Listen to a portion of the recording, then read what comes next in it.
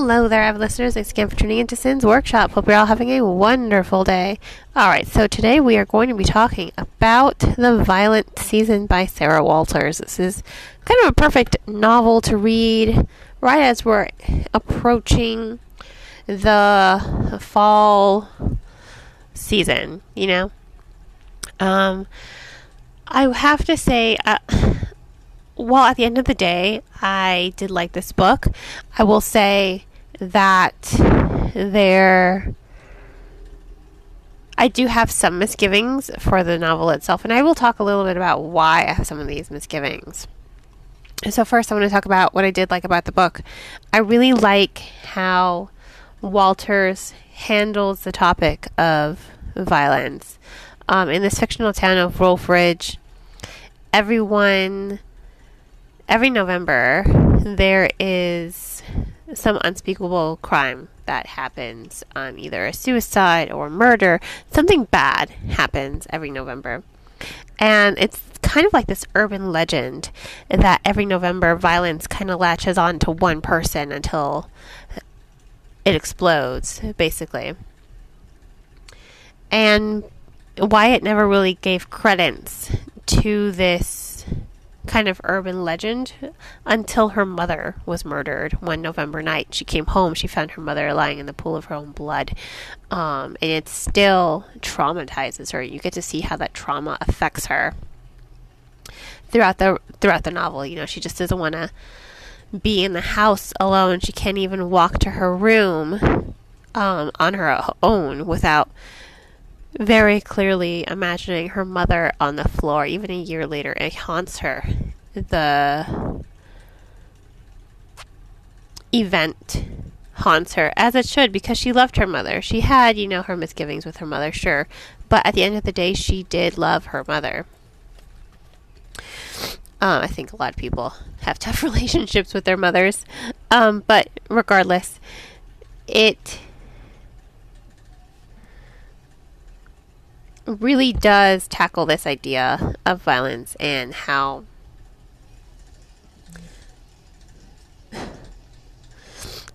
and how violence just seems to uh, seep into people um, now.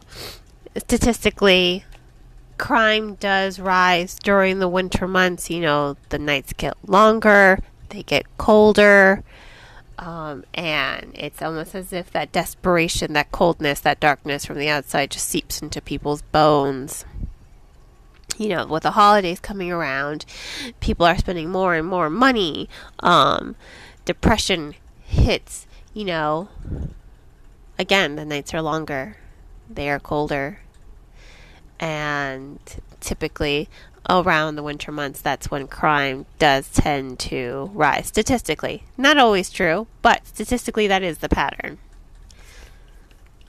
But when it comes to this novel, it's all about Wyatt struggling to reconcile her mother's death while noticing that her friend Cash, this boy she's known her entire life, this boy she has loved her entire life, is somehow suddenly exhibiting this violence. Um, the first line of the book does read um, When Cash told me he wanted to kill Porter Dawes, we were standing on the peak of Lawson Bluff, our sleeves pulled down over our hands. It's a cold night. They're out there smoking um, a couple cigarettes and looking down at their town and her friend is talking about killing someone, about wanting to kill someone. And it's a very strange and very strong opening and you're just like, okay, what is going on here? So it's all about how Wyatt is trying to understand this violence and how violence can really. Everyone is capable of a violent act. But I think what Walters does highlight in this book and what I thought was really wonderful about it was the fact that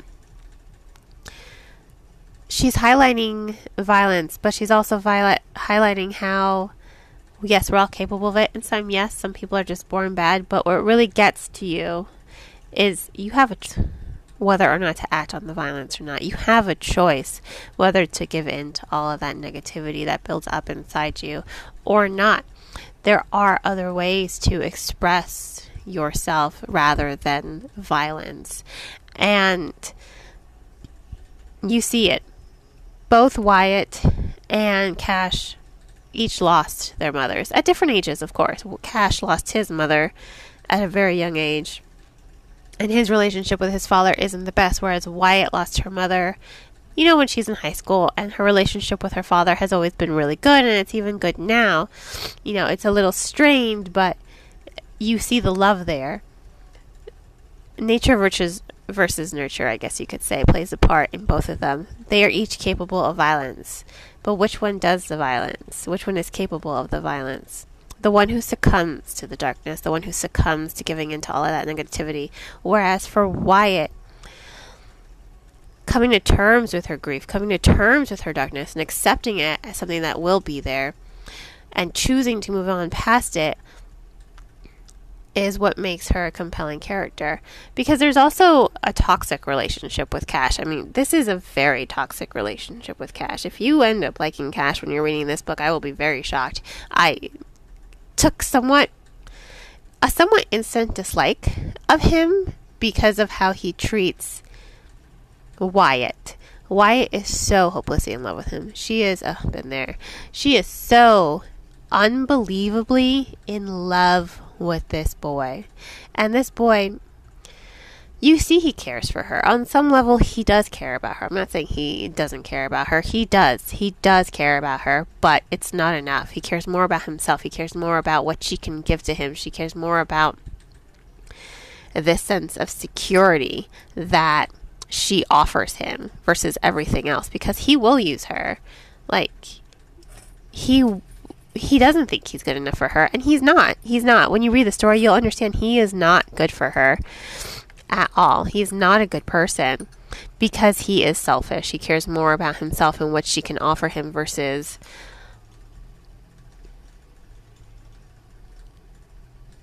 what he could give to her. He doesn't care about her, not really. Um, I know I said he does, but he does. Okay, so he does care about her, yes but he cares more about himself. He is kind of selfish.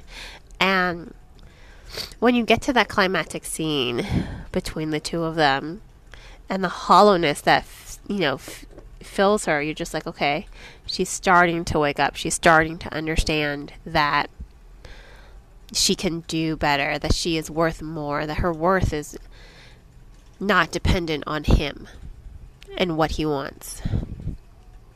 So it's so interesting to see it. It's so.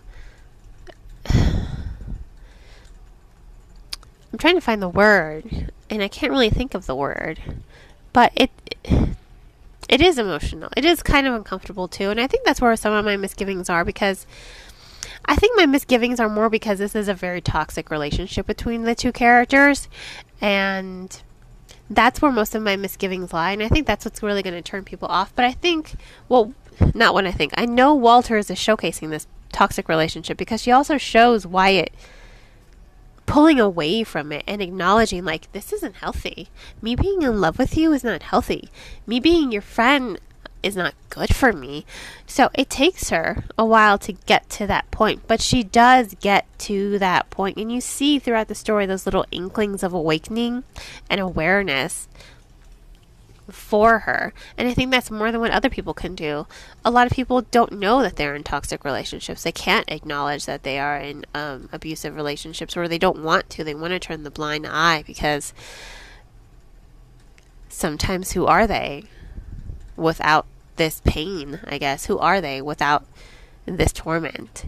Um, who are they without being in that situation? Like they don't even know themselves. So it's more of a fear of the unknown versus the known.